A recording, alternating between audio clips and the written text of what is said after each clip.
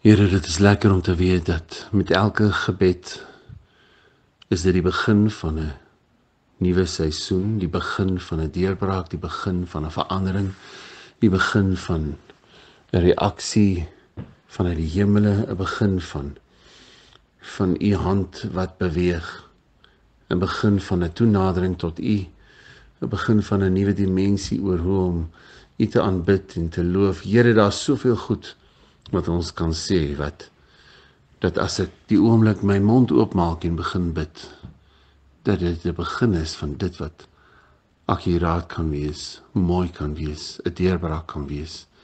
Dankie daarvoor Here en help my om dit so te verstaan. Ook dat dat ek verstaan hoe dit gebed 'n afsluiting is. Here nie net om 'n vergadering mee klaar te maak nie, Here, maar dat ons erken dat dat alles aan U oorgegee is. Mag die afsluiting van vandag, die afsluiting van 'n vergadering van van my drome, gedagtes, strategieë, Here, altyd 'n plek wees waar ek alles volkome aan U oorgee, soos wat Jesus in Getsemane gesê het, nie my wil nie, maar U wil. Here, maar waar Getsemane Getsemane die gebedstyd ook 'n plek wees van oorgawe waar die waar dit begin het waar die lam van God homself gegee het om geslag te word.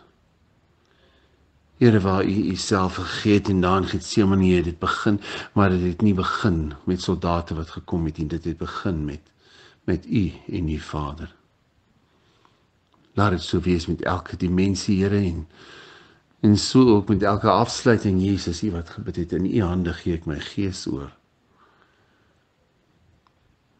Ek wil nie Here dat my lewe eers met 'n krisis begin en dan gaan ek in gebed na U toe nie.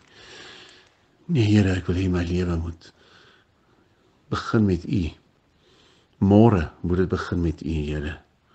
Help my dan om nie 'n dag te begin en af te sluit met 'n tradisionele gebed net om vanuit godsdienstigheid te bid nie.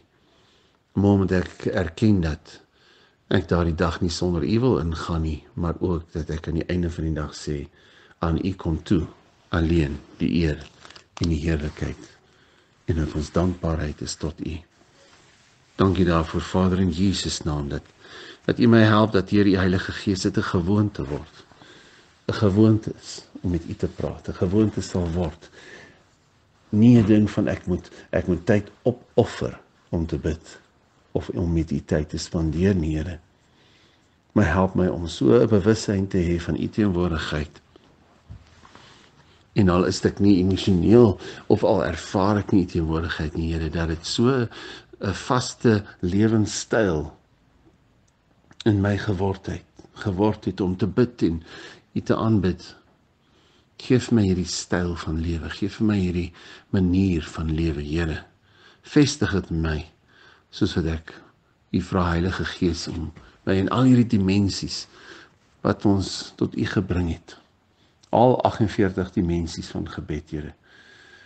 Dat dit so deel van my lewe sal word dat mense daardie lewenstyl van gebed in my sal kan sien. Dat dit nie 'n ding is wat ek moet kies nie, maar dat dit 'n gewoonte is wat ek nie gaan kan breek nie. 'n Gewoonte om met U te praat en met U te kommunikeer oor dinge en U hart te hoor oor dinge, Here. Dankie vir daardie voorreg Dankie dat ek kan begin. Selfs toe ek my hart vir U gegee het, Here, het ek met U gepraat en in gebed en gesê, Here, hier is ek en gevra dat U in my kon bly. Laat dit so wees ook in die afsluiting. Ja, kom Here Jesus. Kom gou. En dat in die afsluiting van elke gebed ek met 'n verwagting sal uitstap van U wat gaan opdaag. U Ja, Here, kom gou in my situasie, in my verhoudinge, in my toekoms, in môre, in my drome en my strategieë.